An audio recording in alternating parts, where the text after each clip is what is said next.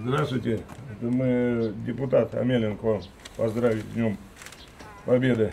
Преддверии 9 мая депутат Сланцевского городского поселения Владимир Амелин лично поздравил ветеранов с Днем Победы. Он посетил на дому Нину Николаевну Шонину, Веру Ивановну Авдееву, Леонида Марковича Малатченкова и Людмилу Александровну Блокову. Все они ветераны Великой Отечественной войны и труженики тыла. К сожалению, еще двоих ветеранов не оказалось дома. Депутат, поздравляя ветеранов с этим замечательным праздником, вручал им цветы и подарки. Елена Александровна, это мы поздравляем вас с Днем Победы. Желаем вам здоровья, удачи, счастья и многих-многих лет жизни. Это вам подарочек. Все, самое главное здоровье. Я все прошу Господа, чтобы быстрее. Не надо, не надо.